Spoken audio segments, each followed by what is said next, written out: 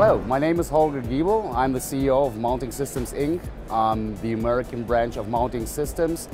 Mounting Systems is a company that is now 23 years in business. Um, we're providing racking systems for ground mounts and residential solutions. Here in the US, we mainly focus on the residential side. On this show, we're showing to the public our new system, the Element. The Element is a railless system that is very simple, very rigid, very reliable, and it's very price sensitive.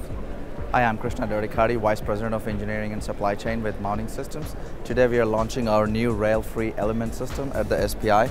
So element system has, four, it's a four components or less system with a skirt as an option. We're also offering a custom flashing with our product. So element system comprises of uh, proprietary die casting uh, components for your vertical and north-south adjustability. Uh, and you have a array skirt as an option for your aesthetics so currently we offer our rail-free system for composition shingle roofs and we have orientation for both portrait and landscapes.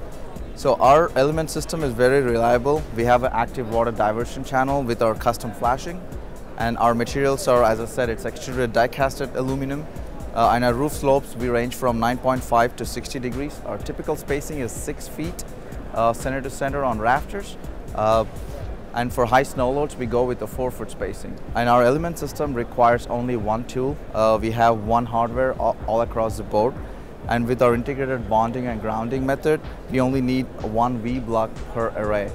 So our bonding path starts from our mid clamp all the way to our standoff. And that's why we only need uh, one V block for whole array. Thanks for your time and uh, please visit us at www.mountingsystems.us for more information on our new element system.